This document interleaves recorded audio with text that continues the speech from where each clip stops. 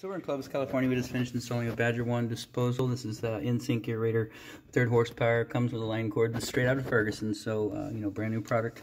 We did replace the strainer as well. The old disposal in there was not compatible with this. Usually the mounting hardware for most of the manufacturers are interchangeable. We like to put a new one in there anyways because we get a new flange on top, new putty, new bracket, and then get this mounted up. So uh, up here, that's brand new as well. It comes with the disposal. And then, of course, got the waste tied back in. Uh, discharge hose is existing to the home, so that's not a new hose, but it was draining, so no big deal. Just tied it back in, same hose clamp.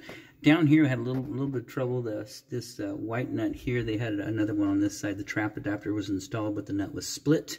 Not a big deal. Typically, um, you know, because water is going to flow down and you won't get any leaking, but we did replace it, so new trap adapter right there.